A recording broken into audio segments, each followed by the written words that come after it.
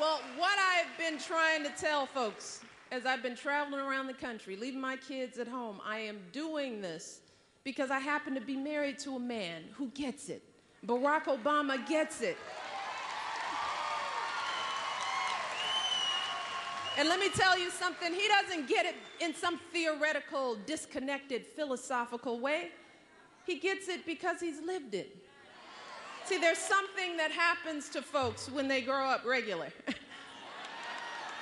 Barack is a product of a whole lot of hard work.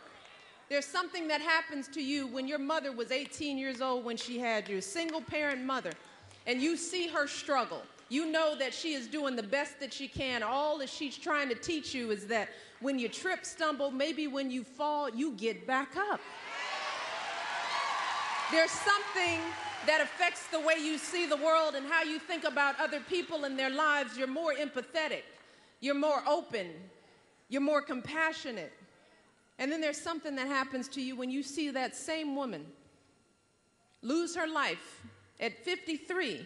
She was a young woman, she died of ovarian cancer. And to watch her, like millions of Americans, in a time when she should have been thinking about her own health, she should have been reflecting on her life because she knew she was going to die. She knew she was, had stage four cancer. Time when she should have been meeting with her family and walking, taking long walks in the park and just being at peace.